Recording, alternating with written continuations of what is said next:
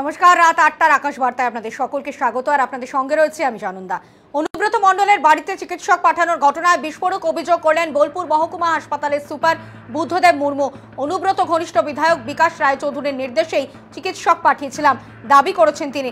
যদিও বিধায়কের দাবি সুপার মিথ্যা বলছেন। কি যে নির্দেশ, তাহলে সেই নির্দেশটা কি কোনো লিখিত আছে না পঠিত আছে? এটা ভুল কথা বলছেন। আমি কি ওনাকে, আমি কি এত বোকা প্রশাসনে আমি দশটা বছর আছি?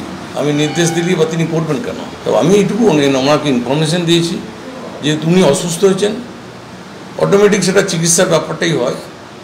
তারপরে উনি যেটা করেছেন, সেটা উনি নিজে ভাবনা চিন্তা নিয়ে করেছেন। অনুব্রতর বাড়িতে গিয়ে চিকিৎসার ব্যাপারে বোলপুর হাসপাতালের সুপার দায় ঝেড়ে ফেলতে চাইছেন শুনে ক্ষুব্ধ চিকিৎসক চন্দ্রনাথ অধিকারী। তিনি অনুব্রতর বাড়িতে চিকিৎসা করতে গিয়েছিলেন।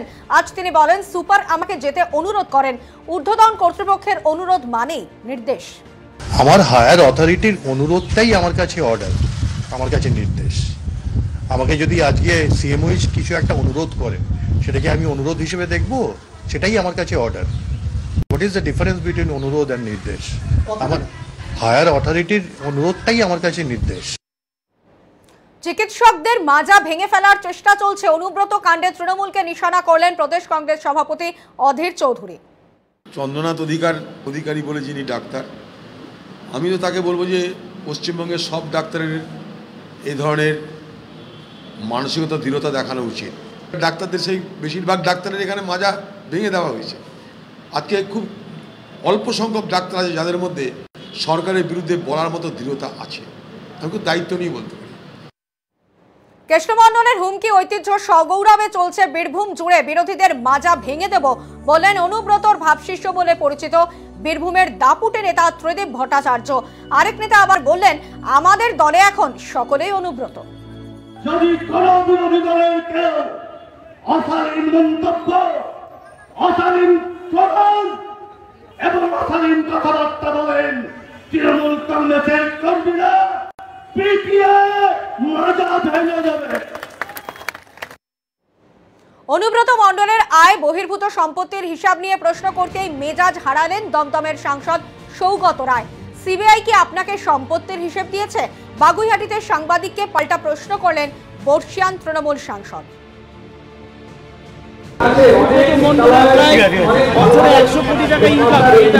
এগুলো আপনি তো জানেন না, আপনি দেখেছেন ইনকাম কাগজ দেখেছেন?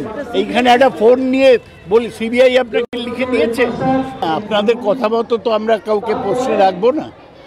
আমরা বিচার করব যদি সত্যি কেউ অপরাধ করেছে বা কেউ মানুষের ক্ষতি করেছে, তাহলে ব্যবস্থা নেব। গরু পাচারের টাকা নাকি সরাসরি নিজের হাতে নিতেন না বীরভূমের কেষ্ট? এনামুল থেকে সাইকেল সেখান থেকে লথিপের হাত ঘুরে টাকা পৌঁছতো তার কাছে। যদিও সিবিআই এর প্রশ্নে অনুব্রত নাকি বলেছেন, আমি লতিফকে চিনি না। পার্থ অনুব্রত কাণ্ডের পর দলকে চাঙ্গা করতে বাঁকুড়া ও পুরুলিয়া নেতাদের নির্দেশ দিলেন অভিষেক বন্দ্যোপাধ্যায়। তিনি বলেন, মানুষের পাশে যান। যাবতীয় অপপ্রচারের বিরুদ্ধে গিয়ে বোঝান। দলে গুরুত্ব বাড়বে স্বচ্ছ ভাবমূর্তির মানুষদের। জানিয়ে দিলেন অভিষেক। ইডি সিবিআই এর বিরুদ্ধে ডানলপে পথে নামলেন কামারহাটির বিধায়ক মদন মিত্র। ছাত্র যুবদের নিয়ে তাকে দলের তরফ থেকে প্রতিবাদে নামার নির্দেশ দেওয়া হয়েছে। কামারহাটির বিধায়ক বিজেপিকে নিশানা করে বলেন, চোরেরাই চিৎকার করছে। শুভেন্দু অধিকারীকে নিশানা করেন তিনি। দিদি, ক্ষমতায় থাকলে কেউ চাকরি পাবেন না। সরকার বদলালে চাকরির সম্ভাবনা আছে। মন্তব্য দিলীপ ঘোষের। কয়েক বছর ধরে তারা রাস্তার ধারে বসে আছে। পাঁচশো, ছশো দিন হয়ে গেল আরও বেশি দিন হয়ে গেল, চার বছরের বেশি মাঝে মাঝে ধর্ণা দিয়েছে। জল বৃষ্টিতে মাথায় নিয়ে রৌদ্রের মধ্যে রাস্তার ধারে বসে আছে, তাদের হক আছে এটা। কিন্তু যে সরকারের কাছে তারা দাবি করছে, সে সরকারের আজকে পায়ের জোর নেই, কোমরের জোর নেই। তার তিরিশ হাজার চাকরির স্বপ্ন দিদিমণি দেখিয়ে আসছেন অনেক বছর ধরে। আবার সরকারে যদি আসেন তিনি, তখন আবার তিরিশ বছরে সেই স্বপ্ন দেখাবেন। তিরিশ হাজারের চাকরি হবে না দিদিমণি থাকতে, সরকার যদি পাল্টায়, তখন সম্ভাবনা আছে।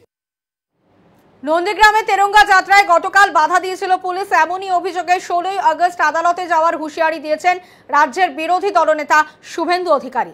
তেরঙ্গা যাত্রা করতে গেলে পারমিশন লাগে। এটা পাকিস্তান নাকি? ইসলামাবাদ। বিভিন্ন জায়গায় বাধা দেওয়া হবে পুলিশ রেডি হয়েছে। দিবে দিবে বাধা দিবে। ফেসবুক লাইভ করবে রাষ্ট্র রাষ্ট্রগীত হবে বন্দে মাতরম হবে অসুবিধা কি? আকাশ বার্তা এখন এই পর্যন্ত এরপরের আকাশবার্তা দেখুন রাত সাড়ে দশটায়।